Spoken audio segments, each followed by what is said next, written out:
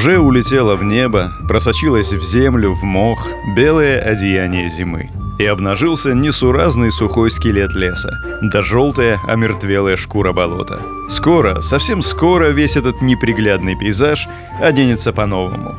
Зеленью и цветами. А сейчас время тех, кому эти унылые виды дороже самых ярких красот света. Время гусятников.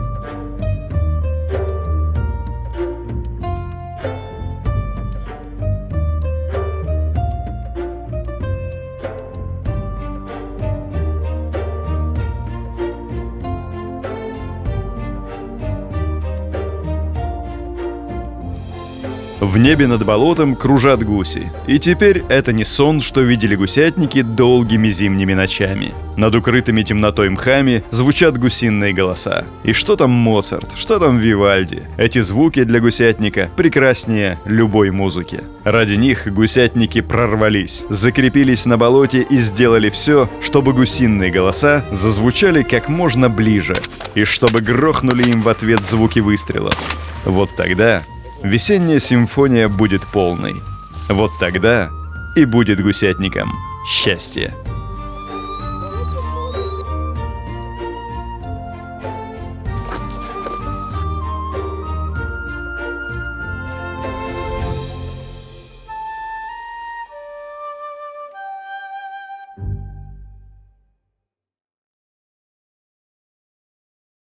Все, кто охотил гуся на болоте, знают, гусь сюда приходит спать отдыхать. То есть встречать солнце смысла нет, а провожать очень даже. Это хорошо выспавшиеся и сытые благодаря Виталию охотники и собираются делать.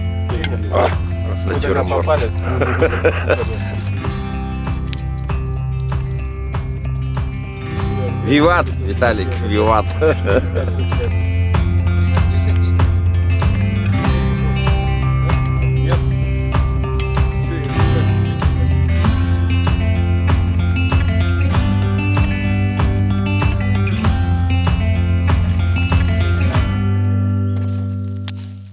Заготовку елочек. Лучше это делать на берегу, так как в болоте елки нет. Наши елочки на берегу готовы. Мы выдвигаемся в болото для того, чтобы уже ставить наш скородок. Скородки готовы, ружья снаряжены, манки прогреты, работаем.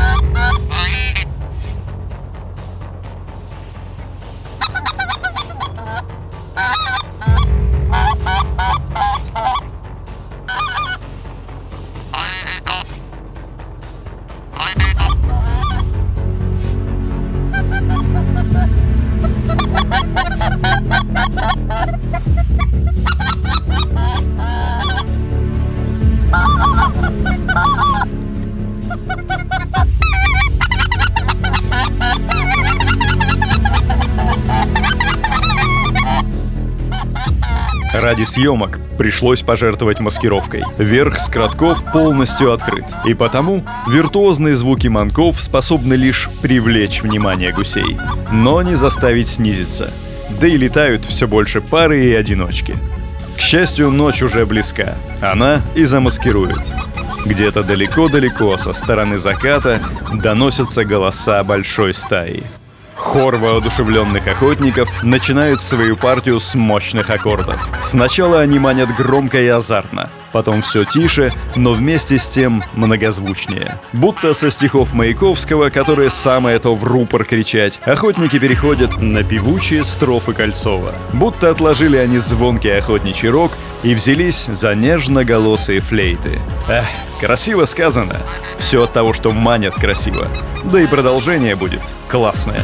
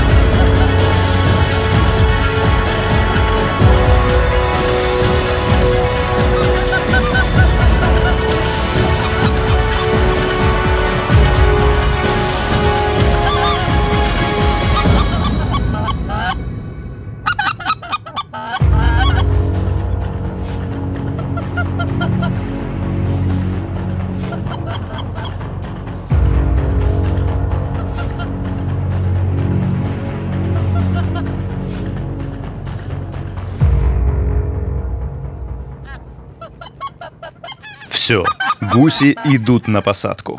Прямо в чучело.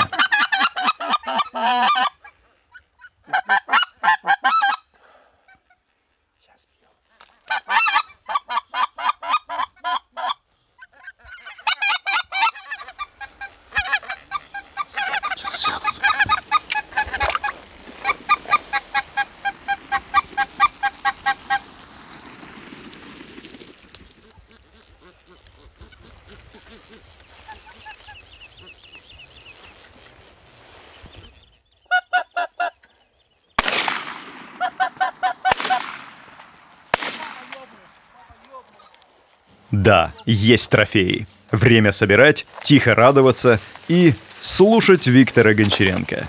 Вот он момент истины. Давно мы ждали две, все двухсотого. Летит подарок дорогой. Блохин в клуб имени Федотова. Вступить мог одной ногой. Вот он, эффект темноты. Почти ни черта не видно, а охота только началась. Встречайте, следующий налет.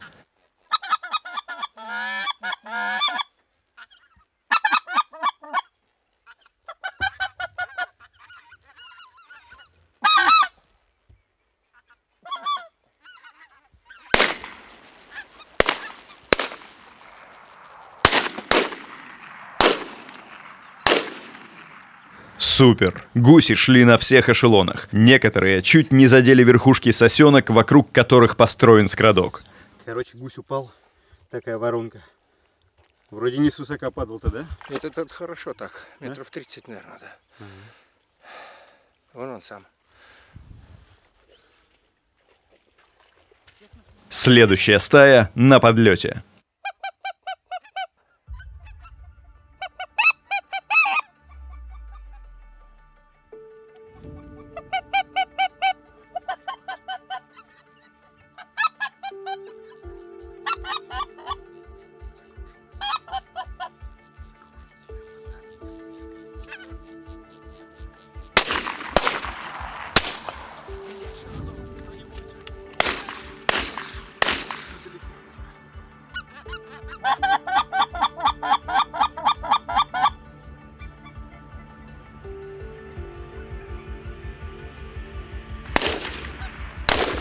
Здесь гуси падают, но за кадром. Пока охотники их собирают, окончательно темнеет. И силуэтов следующей стаи уже не видно на фоне темного неба. Зато слышно.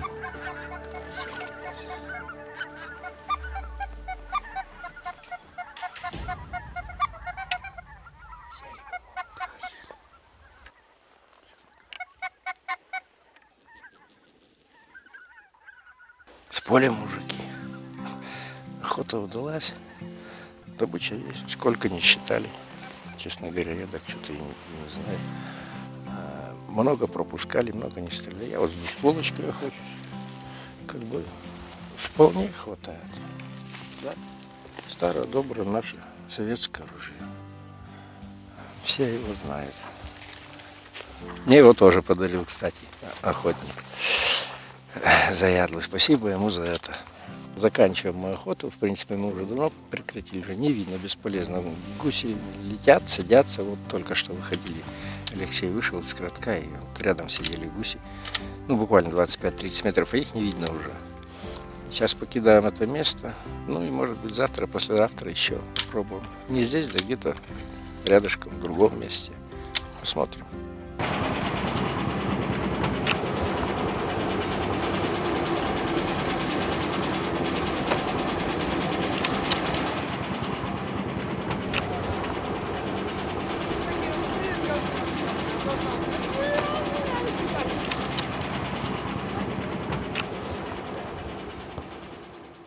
Утро болотного гусятника начинается не рано.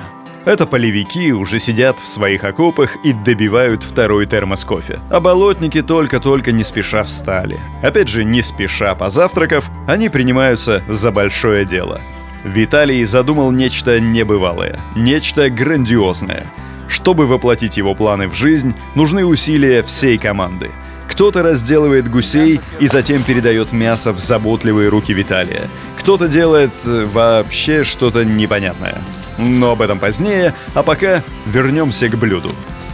Будем готовить наше очередное новое блюдо. Для него нам понадобится морковка, майонез, лук, маринованные шампиньончики, ну и, соответственно, наш король кухни – это гусь трофейный. Итак, приступим. Мы сейчас э, нарежем лук полукольцами, морковку, соответственно, соломкой и шампиньончики на мелкие кусочки тоже в виде соломок. А мясо будем отбивать.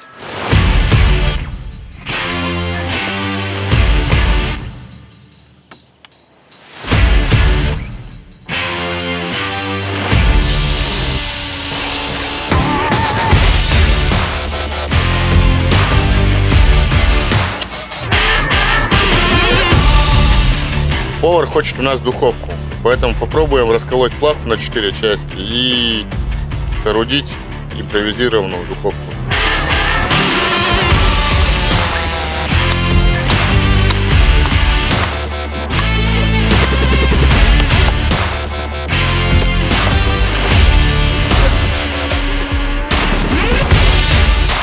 Все наши ингредиенты готовы. Э, Грибочки обжарены, мясо отбито, морковка обжарена, лучок тоже. Ну и специи у нас тоже все подготовлены. Приступаем к заворачиванию рулетиков.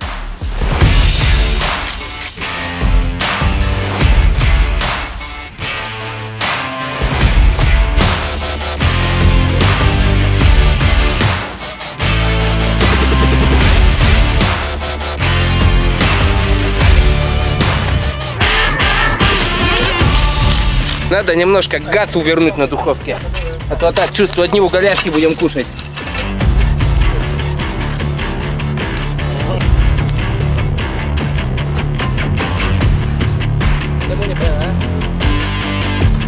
Наши рулетики уложены. И всю эту красоту сейчас мы отправим в нашу фирменную, новоделанную духовочку. Всему этому мы даем томиться в хорошем-хорошем жару. Довольно быстро у всех появляется ощущение, нехорошее такое ощущение.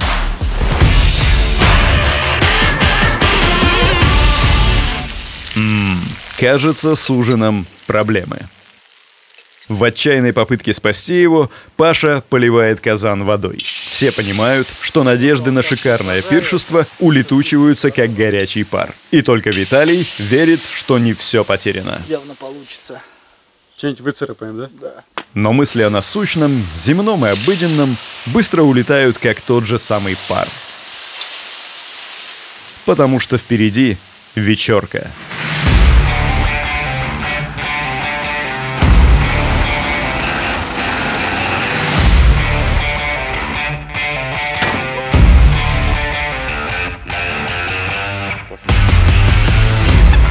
Гусю еще рано появляться, и Андрей проводит для Виталия мастер-класс. Не горлом делай просто языком.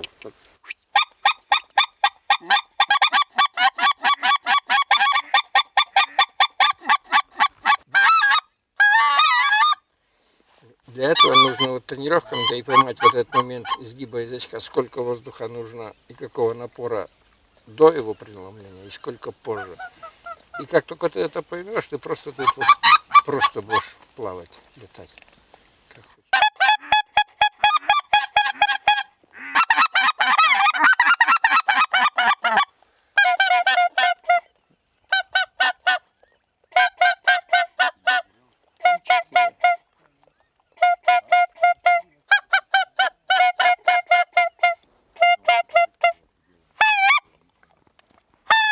Видимо, что-то у Виталия начинает получаться, потому что вскоре в небе возникают первые цепочки. Гуси пока что далеко и высоко, но это пока. Потому что гражданин Кетнер с сыном и с сотоварищами уже задули в свои волшебные дудочки и полилась над болотом чарующая гусей музыка.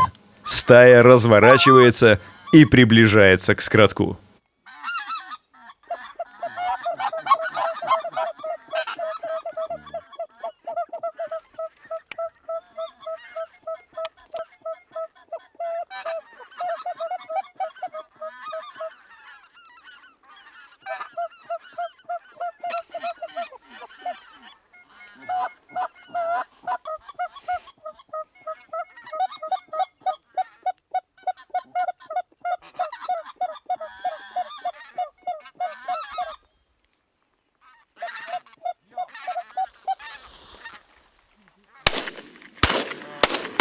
так рано-то? Упс, что-то пошло не так. Хотите знать почему? Тогда юмористическая вставка. Леша решил, Леша у меня в коллиматор посмотреть, а мне-то откуда знать, что я там коллиматор?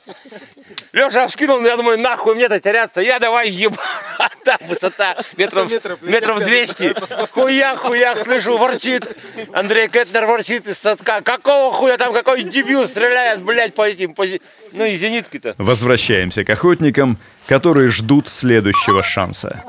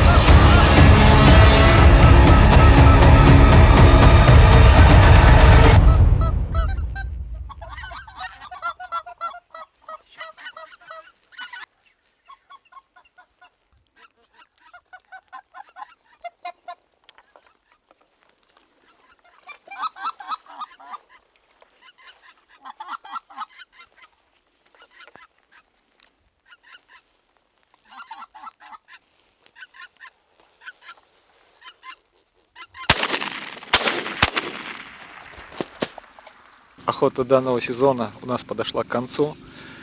Э, Мы посмотрели на работу манков. Огромное спасибо Андрею Анатольевичу. Работал очень искусно. Насколько могли, пытались, помогали. Ну, насколько удавалось. Были очень прекрасные, красивые налеты. Были очень красивые виражи. Запомнились очень надолго, честно говоря.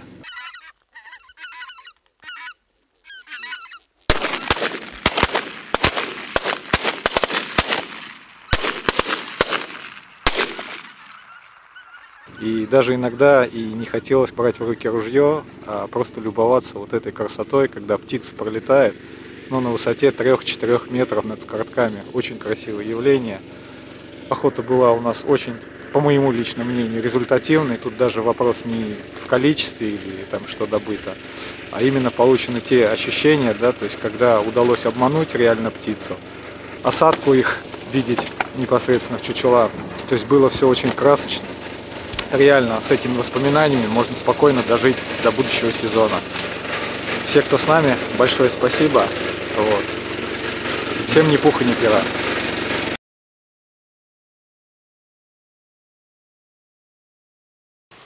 Оба! Так, хоть и подгорело, но я это уже хочу. Я уже кусочек лаваша приготовил для того, чтобы шаурмоту есть. Так, тут деревяшки какие-то.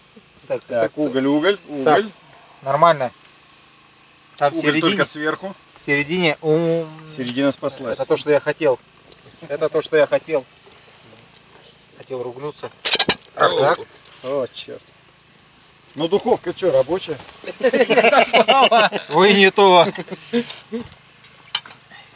Ого! Смотри, смотри, смотри. Получилось. Там живые. Да, да. Есть Давай, давай, давай, уже целиком. Ну, давай. ножик убирай, я сам возьму. Назовем их Леонардо Ди Каприо, они выжившие. Что, он долго это все делает. О, а там с той стороны. А вон там лапа торчит вроде из этого. Опа, я. Давай, давай, давай. О, М, Это, которую я и хотел серединку. взял и упрыгал оттуда. Охота удалась. Спасибо вам за компанию. Виталик, тебе спасибо за то, что ты сегодня гусем накормил, потому как примета. Если ты не пожрешь мясо перед охотой, хер тебе не охота. И даже ружье однозарядное производства Ижевского машиностроительного завода «Ижмаш» застреляло вдруг очередями. Даже патронов потом уже не заряжал, ебашило, блядь, едва остановил. Уже смотрю, ствол красный. Макать его давай в эту самую трясину. Ни хрена шипит вулкан, гейзер. Пыль, блядь, столбом, туман. В Америке тревогу бьют, сейсмические станции все зашкаливают. В общем, на этой мажорной ноте мы заканчиваем свой репортаж. С вами был я, Виктор Гончаренко. Благодарю вас за внимание.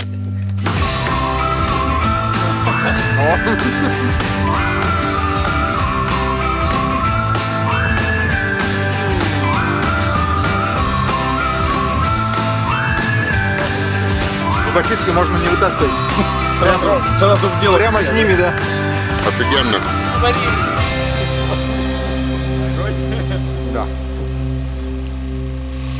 Глотайте слюни, господа.